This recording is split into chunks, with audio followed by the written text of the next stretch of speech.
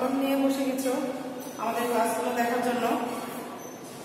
আমি যে তোমাদের গতদিন যে ক্লাসগুলো নিয়েছি, যে অঙ্কগুলো করিয়েছি, নিশ্চয়ই তোমরা সেগুলো বাসাতে শিখছো প্র্যাকটিস করছ, অঙ্কগুলো করছ। আজকে আমি তোমাদের নতুন নতুন অঙ্ক শুরু করব, শেখাবো। স্কেল ধরে কীভাবে আমরা একটা সংখ্যা বের করতে পারি? স্কেল ধরে, আমরা তো স্কেল সবাই চিনি। মার্জিন টানার ক্ষেত্রে, দাগ কাটার ক্ষেত্রে আমরা স্কেল ব্যবহার করি।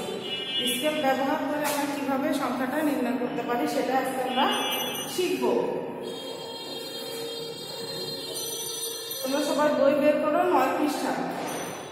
নয় পৃষ্ঠা দেখো, এক নম্বর অঙ্ক। কি বলছে? ক, খ ও গ স্থানে নির্দেশিত সংখ্যাগুলো লিখো। ক, খ এবং গ তিনটা দেওয়া আছে, চিহ্ন করা আছে। এই চিহ্নগুলোতে কোন সংখ্যাটা হবে সেটাই আমাকে বের করতে হয়েছে তাই না?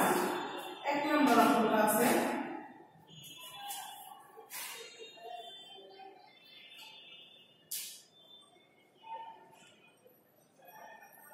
আমি একটা স্কেল টেনে নিলাম মনে করে এটা আমার একটা স্কেল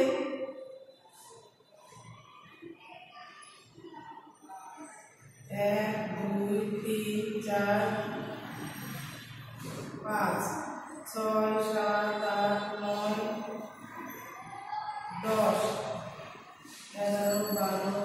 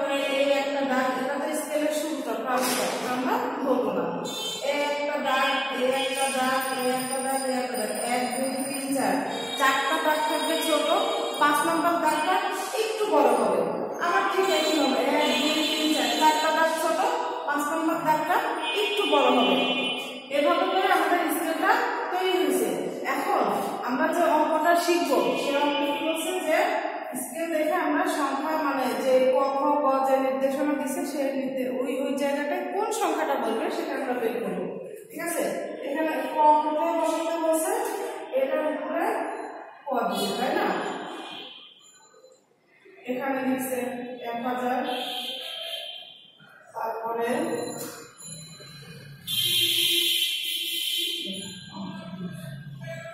এখানে লিখছে ক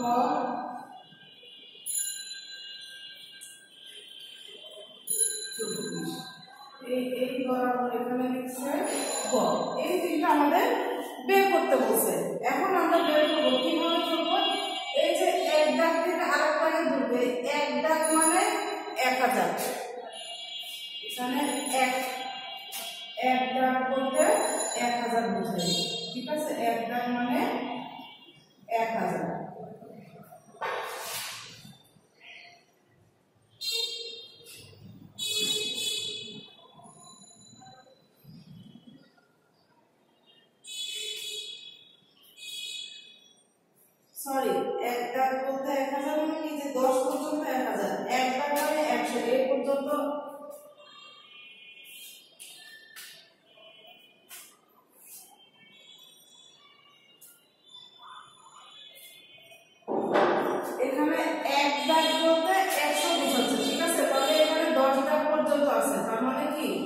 মানে মানে এক হাজার।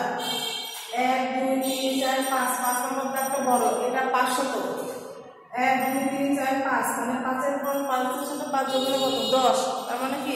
দশ মানে এক হাজার ঠিক আছে? এক এক দাগে এখান থেকে এটুকু মানে সেটা একশো। তাহলে এরকমই যদি হয়, তাহলে এই যে ক আমরা যে কটা বের করব, তাই না? এই যে ক, এই ক এখানে আমরা কি লিখতে পারি আমরা নিচে নিচে লিখে বোঝাচ্ছি তোমরা খাতায় কিন্তু উঠাবো ঠিক আছে যে আচ্ছা আমি লিখে দিই তোমরা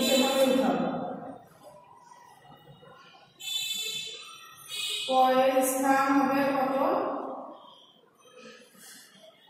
ক নির্দেশিত স্থানে কতগুলো এখানে এক, দুই, তিন, চার, পাঁচ। এক একটা দাগ যদি একশো হয়, তাহলে পাঁচটা দাগ আছে। কত হবে এটা?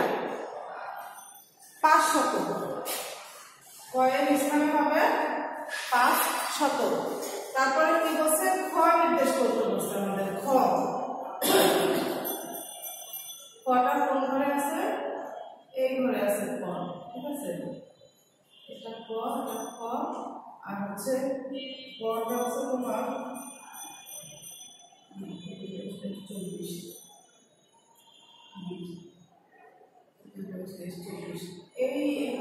এটা নির্দেশ তাহলে আমরা তো ক পেয়ে গেছি মানে পাঁচ ঘরের পর্যন্ত ক আছে, তার মানে এটা পাঁচশো খ খ কত ঘর পর্যন্ত আছে এটা পাঁচ এটা দশ আরও পাঁচ এক দুই তিন চার পাঁচ পনেরো দশ পাঁচ পনেরো তারপরে কি আছে ষোলো সতেরো আঠারো বুঝা গেছে?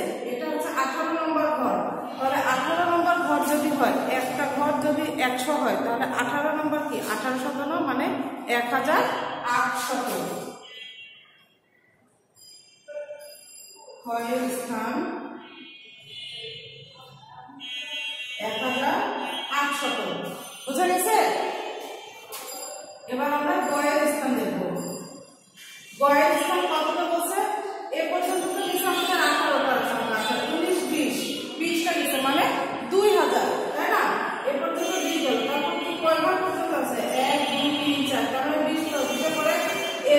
বাইশ, তেইশ, চব্বিশ। চব্বিশতম ঘরে দাগে আমাদেরকে গ চিহ্নটা বসাতে বসে তার মানে চব্বিশতম দাগে আমাদের কত সংখ্যাটা হবে সেটাই আমাকে লিখতে হবে। তাহলে একটা ঘর যদি একশত হয়, চব্বিশতম ঘর আছে, তাহলে একের সাথে চব্বিশের সাথে এই একশোতে গুণ দিলে কত হবে? চব্বিশ শত হবে না।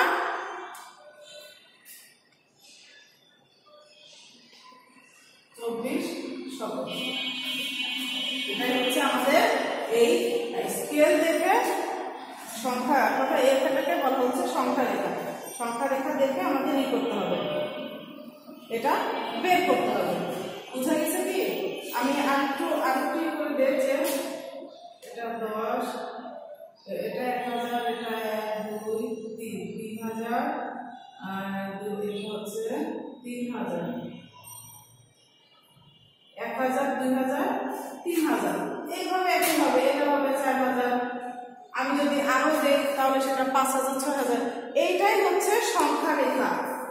এই যে রেখাটা আমি তৈরি করলাম, দাগ কেটে কেটে স্কেল যেটা, এটাকেই বলা হচ্ছে সংখ্যা রেখা। এই সংখ্যা রেখা দাগ দেখে, নির্দেশনা দেখে আমার, আমাকে বের করতে হবে যে ওই দাগে বা ওই নির্দেশনা পর্যন্ত কত সংখ্যা আসে। ঠিক আছে? আমরা সেটাই এখানে বের করছি পদে দেখছি আমরা পাঁচশত পদে আমরা দেখছি কি, কত? আঠারো মানে এক হাজার আটশত। আবার পদে দেখছি কি দুই হাজার চারশত চব্বিশ শত এটাই হচ্ছে সংখ্যা রেখা। তোমরা কি বুঝতে পারছ? শিক্ষার্থীরা? আমি আর অঙ্ক কি করে দেবো তোমাদের? বোঝানোর সুবিধার্থে আমি আর একটা দেখাই দিচ্ছি, ঠিক আছে? তারপর বাকিটা তোমরা নিজেরা বাসাতে করবা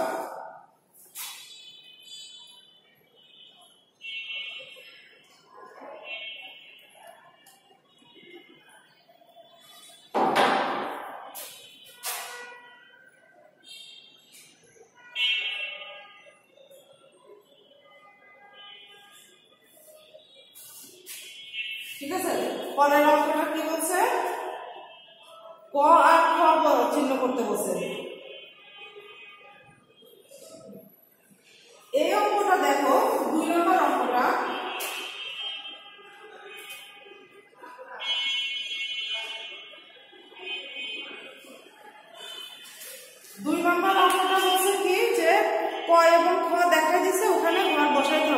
আমরা কিন্তু প্রথম অঙ্কটা যেটা করছি, সেটা কিন্তু এক ঘর সমান একশত ধরছি।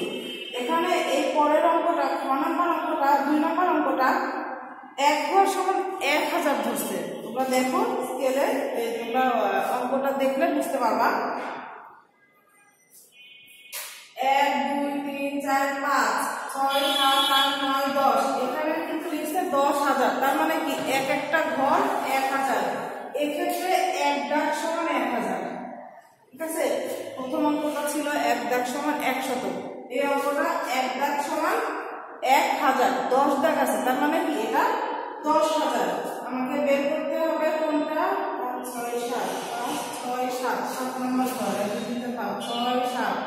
এই সাত নম্বর ঘরটা আমাকে বের করতে বলছে। আর কোনটা বের করতে বলছে? দশ এগারো বারো তেরো।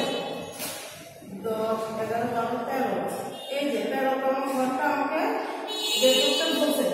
তাহলে এখানে একটা ঘর যদি এক হাজার করে হয় এখানে কততম ঘর বের করতে বলছে এক দুই তিন চার পাঁচ ছয় সাত তাই না সাততম ঘর বের করতে বলছে কয়ের স্থান কত হবে কয়ের স্থান হবে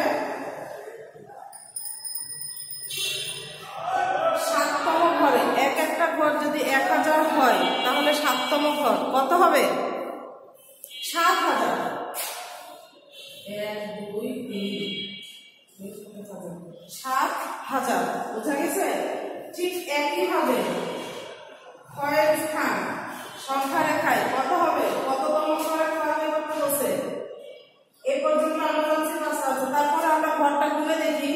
এক, দুই, তিন, চার, পাঁচ, ছয়, সাত, আট, নয়, দশ মানে দশ হাজার। তারপরে এগারো, বারো তেরো তেরোতম ঘর তেরোতম ঘর মানে তেরো হাজার দুই তিন তেরোতম ঘর মানে তেরো হাজার এইটাই হচ্ছে সংখ্যা রেখা। তোমরা কি বুঝতে পারছ, শিক্ষার্থীরা? বাকি অঙ্কগুলো তোমরা সবাই বাসায় করে ফেলবা, ঠিক আছে? এর বেশি যদি আজকে পরে তাহলে তোমাদের মাথায় অত ঢুকবে না, তোমাদের বুঝতে সমস্যা হবে। আমি যে অঙ্কগুলো করে দিলাম, তোমরা সেটা ভালোভাবে খেয়াল করবা, বাসায় প্র্যাকটিস করবা, আর পরের যে অঙ্কগুলো আছে, সেগুলো তোমরা বাসায় নিজেরা এই এই নিয়ম একই নিয়ম, এটা দেখে দেখে তোমরা এটা কমপ্লিট করে ফেলবা ঠিক আছে? আজকে তাহলে এ পর্যন্তই। আল্লাহ হাফেজ।